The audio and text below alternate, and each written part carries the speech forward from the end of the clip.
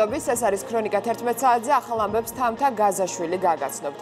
მთავრობის ადმინისტრაციაში კორონავირუსთან დაკავშირებით შექმნილი უწყებათა შორისი საბჭო იკრიბება. გიორგი გახარიას პარლამენტში ელოდებიან რა კითხვები აქვთ კანონმდებლებს პრემიერ-მინისტრთან.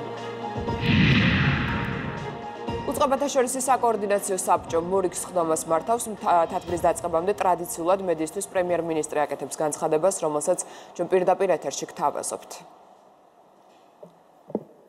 მოგესალმებით კოლეგებო, დღეს გვაქვს რიგითი უწყებათა შორის საკოორდინაციო საბჭოს ხდომა. მოგეხსენებათ, რომ დღეს ინფიცირებულების რაოდენობა, როგორც დაავადებათა კონტროლის ცენტრმა უკვე მოგვაწოდა ინფორმაცია, ახალი შემთხვევები გვაქვს 3. და სამივე არის საკარანტინო ზონებიდან. ფაქტობრივად დღეს ჩვენ შეგვიძლია ვთქვათ, რომ ვირუსის გავრცელება ქვეყანაში ექვემდებარება კონტროლს და ამის დასტურად შეგვიძლია გამოვიყენოთ რამოდენიმე ფაქტი. პირველი, ინფიცირებულების ახალი შემთხვევები ძირითადად მომდინარეობს საკარანტინო ზონებიდან, რაც ერთის მხრივ ადასტურებს იმას, რომ каранტინის ფორმა იყო სწორი გადაწყვეტილება. მეორე, ინფიცირებულების ახალი შემთხვევები გვაქვს მხოლოდ და მხოლოდ ჩვენთვის უკვე ცნობილი კლასტერებიდან, და მესამე რისკის შემცველი ჯგუფი ეს ჩვენთვის გახლავთ საერთაშორისო სატვირთო გადაზიდვები, რომლებზეც აქტიურად მუშაობს საკოორდინაციო საბჭოს შტაბი და აქ კონტროლი არის გამკაცრებული. რეალურად ეს ნიშნავს იმას, რომ ქვეყანაში ინფექციის პანდემიის გავრცელება ექვემდებარება კონტროლს. რას რა თქმა უნდა, ჩვენი ჩვენ საზოგადოებასთან ერთად ერთობლივი შრომის შედეგია. ამიტომ გვიდგება შემდგომი ამოცანა, ეს გახლავთ ეკონომიკის უფრო სწრაფი ამოქმედება. მოგეხსენებათ, რომ ჩვენ ერთი თვის დაახლოებით წინ წარმოვადგინეთ ეკონომიკის გახსნის სპეციალური გეგმა, რომელიც ითვალისწინებდა კონკრეტულ ღონისძიებებს. დღეს შეგვიძლია ვთქვათ, როგორც ფაქტი, რომ ჩვენ გვაქვს შესაძლებლობა ეს გეგმა ცოტა უფრო ავაჩქაროთ. ამაჩქარების საშუალებას გვაძლევს რა? გარდა უკვე ჩამოთვლილი იმ გარემოებებისა, რომ კონტროლს ექვემდებარება ინფექციის გავრცელება, დღეს ჩვენ დაავადებათა კონტროლის ცენტრმა მოგვაწოდა სეროპრევალენტური კვლევის შედეგები, რომელიც კიდევ ერთხელ ადასტურებს იმას, რომ ქვეყანაში შიდა გავრცელების ინფექციის შიდა გავრცელების მასშტაბი არის ძალზედ მცირე და რისკები არის შემცირებული.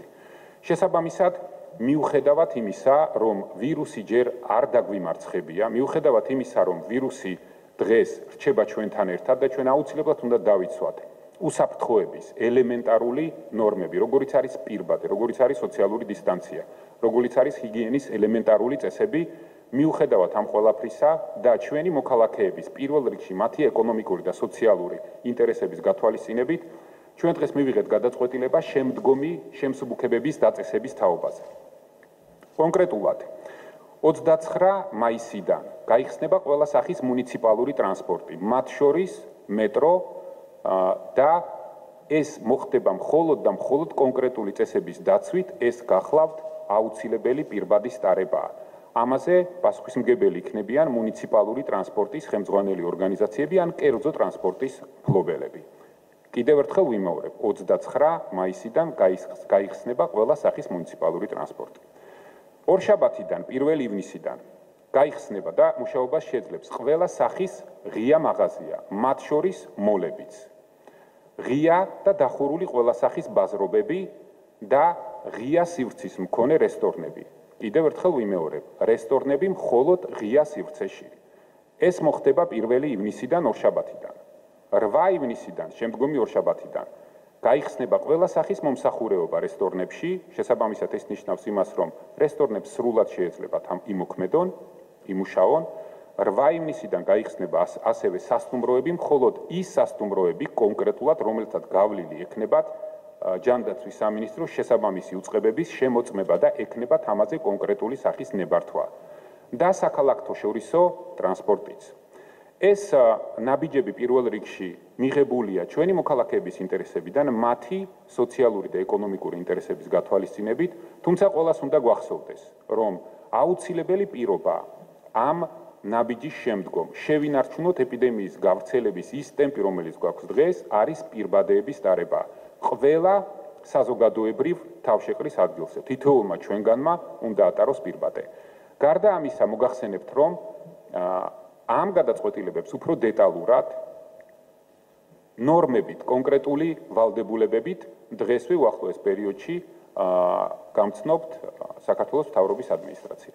გარდა ამისა, ამ გადაწყვეტილების მიღების საშუალებას გვაძლევს ჯანდაცვის სამინისტროს და დაავადებათა კონტროლის ცენტრის ის გეგმა, რომელიც წარმოდგენილია ტესტირებების რაოდენობის გაზრდასთან დაკავშირებით, ოქროს სტანდარტის PCR ტესტებზია საუბარი და დღეს ჩვენ უკვე თვალნათლივ ვხედავთ უახლოეს თვეებში და მეორე ტალღის მოლოდინში შემოდგომამდე როგორ იმუშავებს ლაბორატორიათა მთელი ქსელი, რომელიც უზრუნველყოფს ქვეყანაში კონტროლს ინფექციის გავრცელების.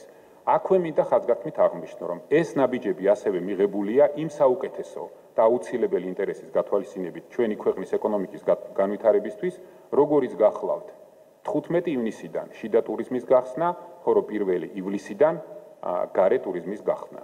ეს ყველაფერი არის კრიტიკულად მნიშვნელოვანი ჩვენი ეკონომიკის სწრაფი აღდგენისთვის, მაგრამ აქ სრულად უნდა გვესმოდეს, რომ პასუხისმგებლობა არის საერთო თავრობა, ბიზნესი, ჩვენი მოქალაქეები და როგორც აქამდე ჩვენ ერთობლივად მოქალაქეობრივი შეგრძნების უდიდესი პასუხისმგებლობით უნდა გავაგრძელოთ ბრძოლა ვირუსთან. ორივე ფრონტზე, როგორც ჯანმრთელობის დაცვის, ასევე ეკონომიკის განვითარების. მადლობ ყურადღებისთვის და დანარჩენი ყველაფერი უკვე პარლამენტის ტრიბუნით. ეს ხო პირდაპირ ჩართვა მთავრობის ადმინისტრაციიდან, მას ასე 29 მაისიდან ყველა სახის მუნიციპალური ტრანსპორტი დაიწყებს მუშაობას, ორშაბათიდან 1 ივნისიდან ყველა ღია მაღაზია, ყველა ბაზრობა, მოლები, ასევე რესტორნები ღია სივრცით დაიწყებენ ფუნქციონირებას 8 ივნისიდან რესტორნები უკვე შიდა სივრცეში შეძლებენ სტუმრების მიღებას, ასევე 8 ივნისიდან გაიხსნება ყველა სასტუმრო და აღდგება საქალაქთაშორისო ტრანსპორტი. განვაგრძობთ გამოშვებას. მთავრობის ადმინისტრაციის შემდეგ გიორგი გახარია საკანონმდებლო ორგანოში გადაინაცვლებს პრემიერს პარლამენტში 12 საათისთვის ელოდებიან სადაც ის წარადგენს ანგარიშ. თუ როგორ მართავდა მთავრობა ქვეყანას კორონავირუსის პანდემიის გამო გამოცხადებული საგანგებო მდგომარეობის პირობებში. მთავრობის მეთაური დღევანდელ სხდომაზე მივა ministrთა კაბინეტის და უწყებათა შორის საკოორდინაციო საბჭოს წევრებთან ერთად ანგარიშის მოსმენის შემდეგ შეხვედრა უკვე კითხვა პასუხის რეჟიმით გაგრძელდება. სოფო ბერიძე ესაუბრა დეპუტატებს და მისგან მოვისმენთ ძირითადად რა კითხვა კითხვები აქვთ მათ სოფო გისმენთ ერთანთა როგორც თქვენ თქვით, სწორედ პირველი ინფიცირებულის გამოვლენიდან სამი თვის თავზე საქართველოს პრემიერ-მინისტრი პარლამენტში მოდის COVID ანგარიშით და ახლობით 1 საათში უკვე საკანონმდებლო ორგანოში იქნება მინისტრთა კაბინეტის წევრებთან ერთად აქ მოვლენ უწყებათა საბჭოს წევრები, კონკრეტულად კი დაავადებათა კონტროლის ცენტრის ხელმძღვანელი პირები, ის ადამიანები, ვისთან ერთადაც ხელისუფლება სწორედ ამ სამი თვის განმავლობაში მართავდა ვირუსთან დაკავშირებულ პროცესს. პირველ ეტაპზე გიორგი გახარია თავად გააკეთებს განცხადებას, ამის შემდეგ იქნება უკვე კითხვა პასუხის რეჟიმი, შემდეგ მოისმენენ დეპუტატები მათ მიერ დასმულ კითხვებზე პრემიერის პასუხს.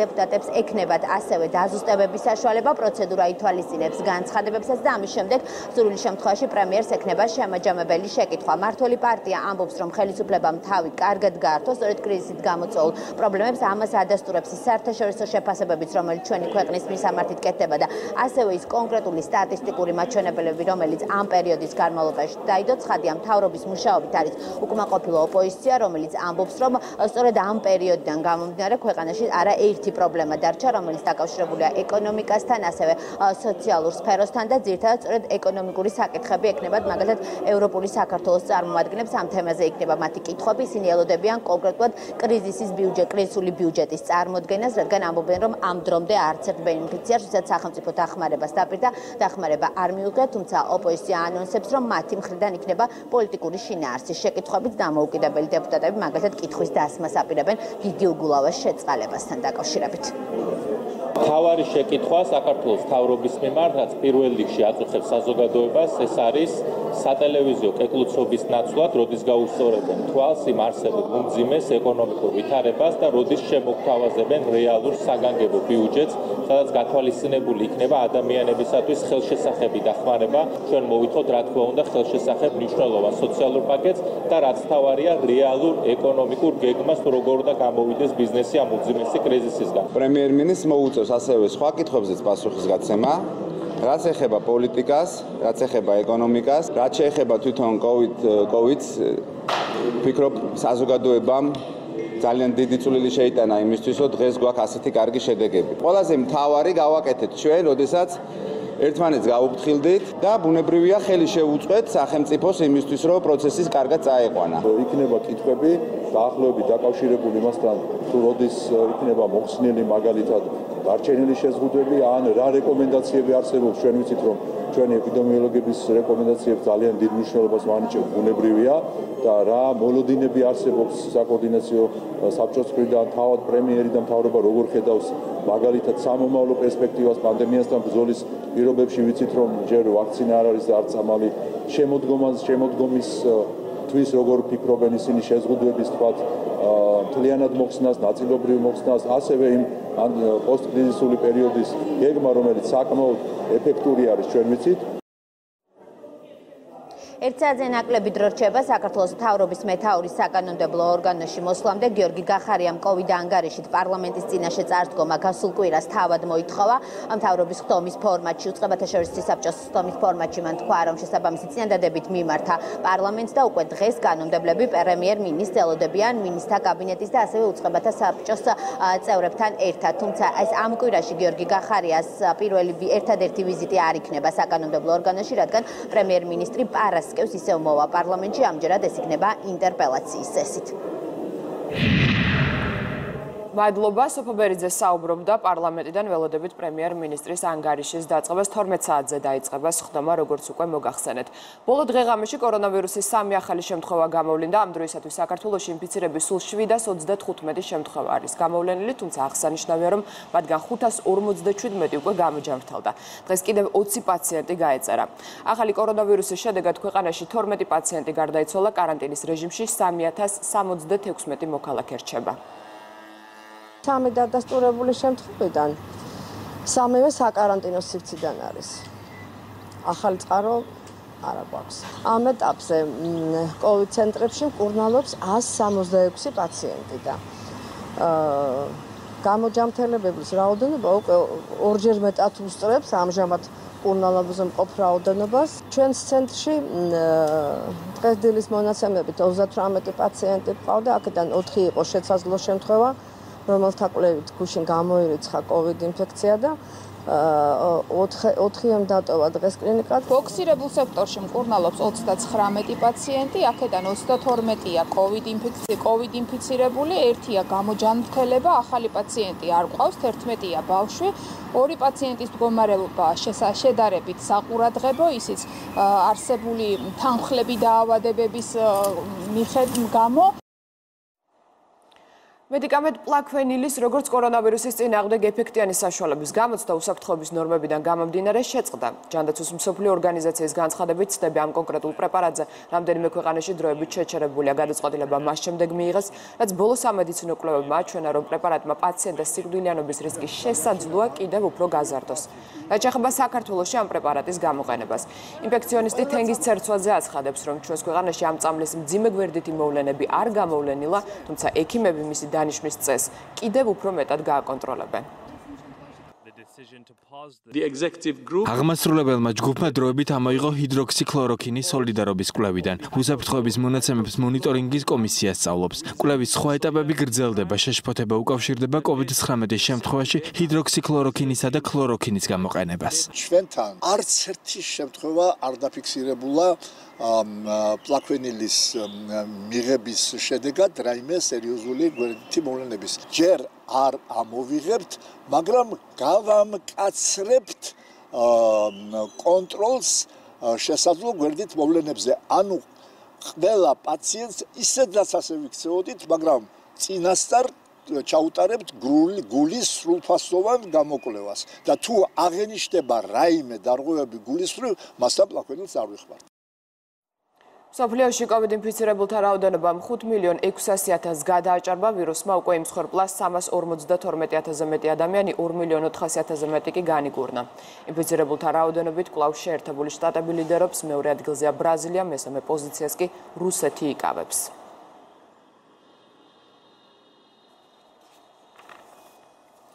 იუსტიციის მინისტრს აქვს მოლოდინი, რომ დღეს პარლამენტში ოპოზიცია პოლიტიკურ წარმოადგენას დადგამს ამის შესახებ ისაუბრა თეატრულიანმა გადაცემაში არენა, ისინი მოვლენ იმისთვის, რომ უბრალოდ მოაწყონ პოლიტიკური ცირკი, ეს არის ციტატა მისი განცხადებიდან. მინისტრთა კაბინეტის წევრი ამბობს, რომ უშუალოდ პრემიერმა და მთავრობამ პანდემიასთან ბრძოლაში სწორი გადაწყვეტილებები მიიღეს და საზოგადოება დღეს სწორედ ამას მოისმენს. ალბათ ისინი მოვლენ, როდესაც ბატონი პრემიერ-მინისტრი წარდგება პარლამენტის წინაშე, იმისთვის რომ უბრალოდ მოაწყონ პოლიტიკური ცირკი. შოუც აღარ არის ეს, შოუ რაღაც ხარისხს გულისხმობს თავის თავში ეს სიტყვა. ეს არის ჩვეულებრივი ცირკი პოლიტიკური, რომელიც აა მიმართულია იქითკენ, რომ იფართხალონ არჩევნებამდე ხუთი თვე დარჩა, მათ უნდა აჩვენონ რაღაცა ტიპის მოძრაობა. საკუთარ თავს და საკუთარ ამორჩეულს ამავე გადაცემაში იუსტიციის მინისტრმა ოპოზიციაზეც ისაუბრა თეატრულუკიანს მიაჩნია რომ ნაციონალური მოძრაობა ცდილობს საზოგადოებას მის მმართველობის უმძიმესი შეცდომები დაავიწყოს. მაგალითისთვის მან ვანო მერაბიშვილის ფაქტორი მოიყვანა თქვა რომ ოპონენტებმა ის პოლიტპატიმრად შერაცხეს თუმცა ახლა არც ერთ ჯგუფს პარტიულ რიგებში მისი მიღების სურვილი არ აქვს ეს არის მიზან მიმართული მათი პოლიტიკა რომ ჩვენი გონებიდან ამოშალონ და მათ აღარ მოსწონ საკუთარ თავში. შეხედეთ როგორ ექცევიან იმ აბსოლუტურად ოდიოზურ პერსონას როგორც არის ვანო მერაბიშვილი. მისი ციხიდან გამოშვებისთვის იყვნენ დარაზმულები, რა დარ შერაცხეს ის როგორც ახლა შერაცხეს ოქრუაშვილი და სხვები. პოლიტიკური ნიშნით დაკავებულად, დაპატიმრებულად გამოვიდა ბოლოს ეს მათთვის ნანატრი ვანო ციხიდან. ეხლა ამბობენ მე არ მინდა შენი იყოს შენ არ გინდა იმისი იყოს რეალურად აპამპულავებენ რომლის გარეთ ყოფნისთვისაც თავი მოიკლეს ვითომ დამოუკიდებლობის დღისადმი მილოცვებს საქართველოს მსოფლიოს სხვადასხვა ქვეყნიდან იღებს მათ შორისაა ისრაელიც სპეციალურად ამ დღის აღსანიშნავად იერუსალიმის ძველი ქალაქის იაფოს კარიბჭის შესასვლელი საქართველოს დროშის ფერებში განათდა და ღონისძიების მონაწილეებისათვის სელჩოს ორგანიზებით მიღებაც გამართა. ქვეყნის დამოუკიდებლობის დღე ქართულ ხალხს ისრაელის ქნესეთის თავმჯდომარემ იერუსალიმის პატრიარქმა, მინისტრებმა, პოლიტიკოსებმა, ბიზნესმენებმა, ქართული დიასპორის წარმომადგენლებმა და ქართულ ებრაელთა თემის წარმომადგენლებმა მიულოცეს. בין שתי המדינות קיים שיתוף פעולה მეათე მოწვევის პარლამენტი ახალი რეგლამენტით იხელმძღვანელებს ცვლილება, რომელიც საკანონმდებლო ორგანოს ოპტიმიზაციას ითვალისწინებს მართლმა გუნდმა უკვე მოამზადა. ცირდება საპარლამენტო თანამდებობების კომიტეტების და ფრაქციების რაოდენობა გათვალისწინებულია ხარჯების შემცირებაც. პარლამენტის თავმჯდომარე 9 მოადგილის ნაცვლად 3 მოადგილე ეყოლება, რაც შეეხება კომიტეტებს. 15-ის ნაცვლად იქნება 13. პროექტის ინიცირება ორშაბათს მოხდება და მომავალ კვირაშივე დაიწყება საკომიტეტო განხილვაც. როდესაც 2018 წელს იცვლებოდა რეგლამენტი, მაშინვე იყო მოაზრებული ის, რომ შემდეგი მოწვევის პარლამენტისთვის უნდა განხორციელებულიყო ახალი ცვლილებები, ძირითადად ეს ცვლილებები ეხება პარლამენტის სტრუქტურას და მიზანი ამ ცვლილებების არის პარლამენტის სტრუქტურის ოპტიმიზაცია. შემდეგი მოწვევის პარლამენტის შეკრებისთანავე უკვე კონსტიტუციასთან სულად იქნება შესაბამისობაში რეგლამენტის ახალი დებულება. არის ერთგვარად გაბერილი პარლამენტის სტრუქტურა, აქ არის ამოცანა ის, რომ ეს სტრუქტურა იყოს რაციონალიზებული, ლოგიკური ფაქტურად ამ ცვლილებების ამოქმედება გამოიწვევს ხარჯების ოპტიმიზაციასაც. ოპტიმიზაცია და რაციონალიზაცია არის მთავარი მიზანი ჩვენს მე წარმოქმნილი ცვლილებების. ფრაქციის როლი იზრდება, ფრაქციების რაოდენობა მცირდება, ზოგადად, იმიტომ რომ ერთ პარტიას პრაქტიკულად ეყოლება ერთი ფრაქცია თან 7-ზე მეტი დეპუტატი თუ გაიყვანა, კომიტეტები კიდევ უფრო ქმედუნარიანი ხდება და მათი ოპტიმიზაცია ხდება, ვიცე-სპიკერები მცირდება, 9 თეორიული ვარიანტიდან იქნება მხოლოდ 3 ვიცე-სპიკერი და ეს ყველაფერი ხელშეუწყობს, რომ კიდევ უფრო ქმედითი მენეჯმენტი იყოს საქართველოს პარლამენტში. საქართველოს მოქალაქეებს ამჯერად ინდოეთიდან დააბრუნებენ სპეცრეისის გზავრებს შორის 15 საქართველოს 18 კი აზერბაიჯანის მოქალაქე იქნება ამას გარდა როგორც ინდოეთში.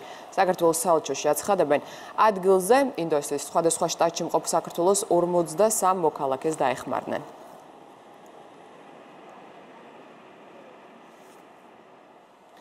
დედაქალაქის მთავრობის ხდომას მართავს თბილისის მერი კახა კალაძე ისაუბრებს დეტალურად საზოგადოებრივ ტრანსპორტთან დაკავშირებულ სიახლეებზე. ჩვენ პირდაპირ ეთერში გთავაზობთ მის განცხადებას. ილამშვიდობის მოგესალმებით მეგობრებო. ვიდრე დავიწყებთ ჩვენი დღის ეს რიგით გათვალისწინებული საკითხების განხილვას გადაწყვეტილებების მიღებას. მინდა რამოდენიმე მნიშვნელოვან თემას შევეხო და მივაწოდო ინფორმაცია საზოგადოებას პირველი მინდა დავიწყო იმით, რომ როგორც მოგეხსენებათ, კორონავირუსის პანდემიით გამოწვეულ პირობებში პირობებში გვახსოვს თუ რამდენად მძიმე მდგომარეობა იყო პანდემიის გამო.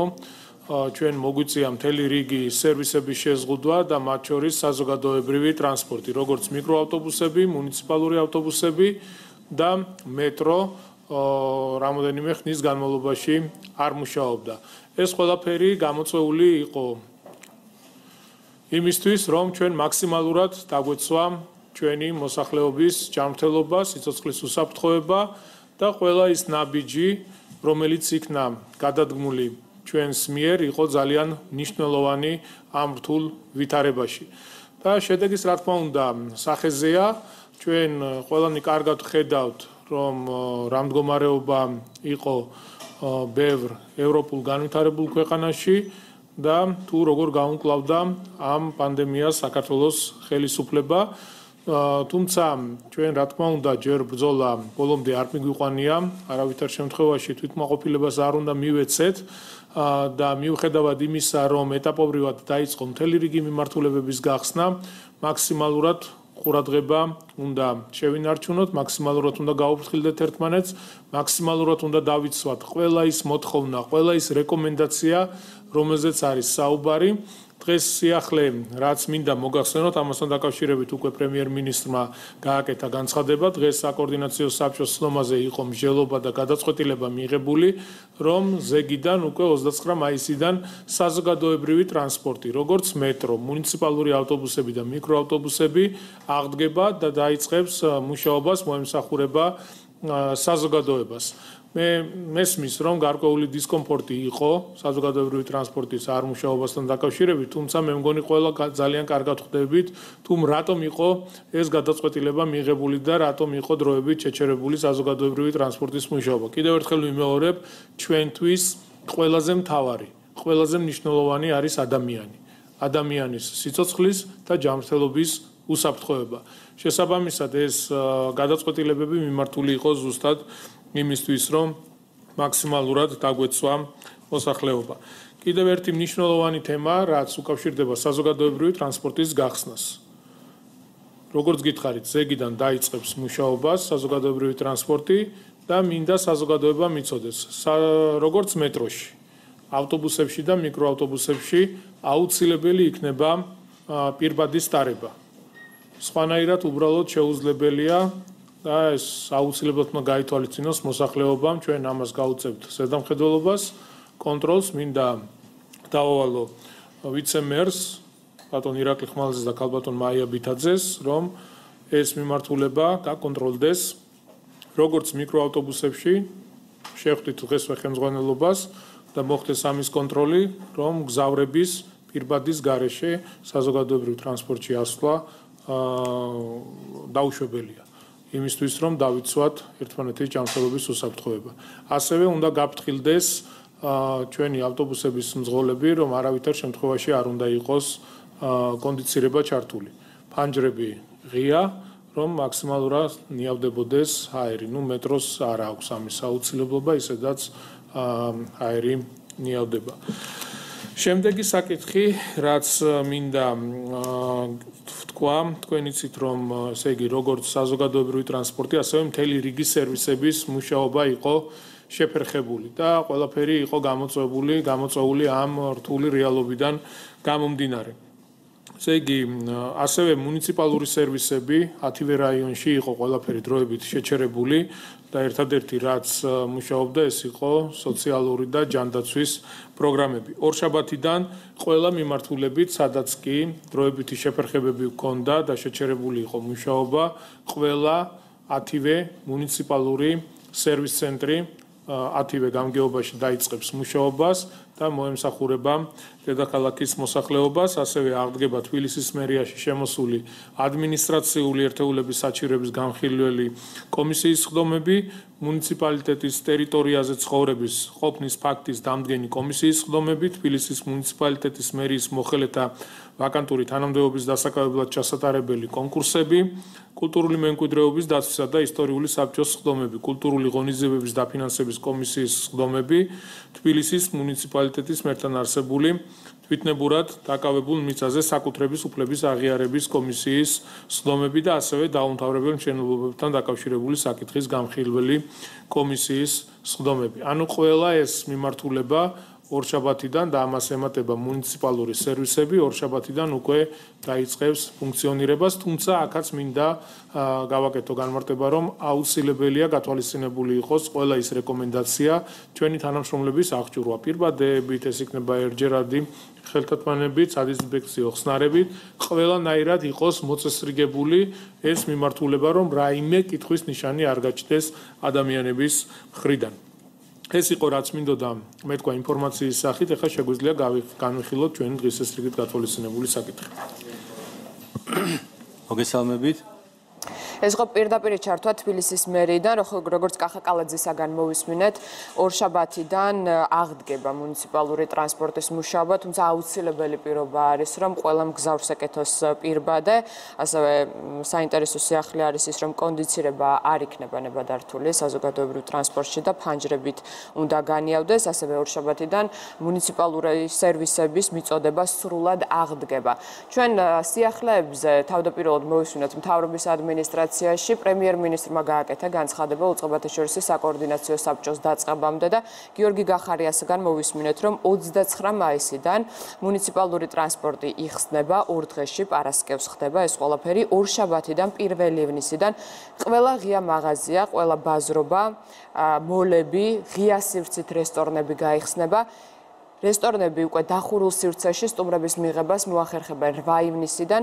ამავე თარიღს უკავშირდება ყველა სასტუმროს გახსნა, ასევე 8 ივნისიდან აღდგება საქალაქთაშორისო ტრანსპორტიც.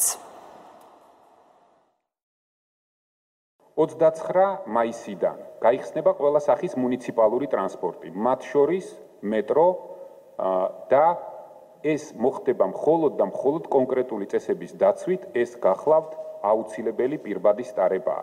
ამაზე პასუხისმგებელი იქნებიან მუნიციპალური ტრანსპორტის ხელმძღვანელი ორგანიზაციები ან კერძო ტრანსპორტის მფლობელები. ორშაბათიდან 1 ივნისიდან გაიხსნება და მუშაობას შეძლებს ყველა სახის ღია მაღაზია, მათ შორის მოლებიც. ღია და დახურული ყველა სახის ბაზრობები და ღია სივრცის მქონე რესტორნები. 8 ივნისიდან, შემდგომი ორშაბათიდან გაიხსნება ყველა სახის მომსახურეობა რესტორნებში, შესაბამისად ეს ნიშნავს იმას, რომ რესტორნებს სრულად შეეძლებათ ამ იმოქმედონ, იმუშაონ. 8 ივნისიდან გაიხსნება ასევე სასტუმროები, მხოლოდ ის სასტუმროები კონკრეტულად, რომელთაც გავლილი ექნებათ ჯანდაცვის სამინისტროს შესაბამისი უწყებების შემოწმება და ექნებათ ამაზე კონკრეტული სახის ნებართვა. და საქალაქო შორისო ტრანსპორტიც. ჩვენ პირდაპირ ეთერში დაუბრუნდებით. 12 საათზე, სწორედ ამ დროს დაიწყება პრემიერ-მინისტრის პარლამენტში. გამოსვლა, ასე რომ მე დროებით გემშვიდობებით. დღის ყველა ამბავი, ცლად შეგიძლიათ ნახოთ იმედი ნიუს-ჩესა.